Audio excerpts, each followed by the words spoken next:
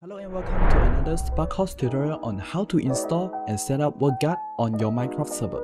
WorldGuard is a powerful plugin that allows a server admin to protect and manage regions on their servers.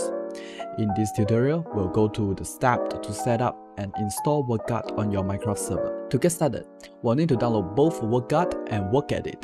These plugins can be found on the Bukkit page. WorldEdit is a dependency plugin for the WorldGuard, so make sure to download both. Next, navigate to the Control Panel File Manager section and upload the plugins into Plugins folder. Once the plugins are uploaded, restart the server to ensure they are loaded correctly. Once the server has rebooted, we can begin setting up WorldGuard. The first step is to define the first and second positions of the protected region. To do this, we'll need to use command slash slash wand to obtain the WorldEdit wand tools, which is Wooden Axe. Select the first position by left-clicking at the corner of the region, then select the second position by right-clicking at the opposite side and height of the region.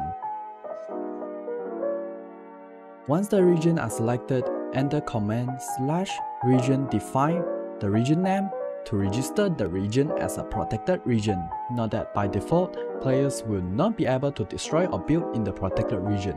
To allow players to build, use the command slash rgflag region name build allowed. That's it.